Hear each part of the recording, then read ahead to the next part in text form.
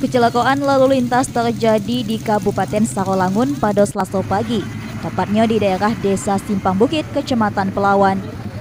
Menurut warga sekitar, kecelakaan terjadi bermula saat seorang pengendara motor menuju Sarolangun melaju kencang dan menabrak sebuah mobil pribadi yang ingin masuk ke halaman rumah dari arah yang berlawanan. Akibat benturan tersebut membuat pengendara motor kritis dan dilarikan ke rumah sakit. Menurut warga, Pengendara motor mengalami luka parah di bagian kepala karena membentur kaca depan mobil. Sariko kasus laka tersebut ditangani oleh pihak kepolisian unit laka lantas Polres Sarolangun untuk penyidikan lebih lanjut. Surya Abadi, Jambi TV.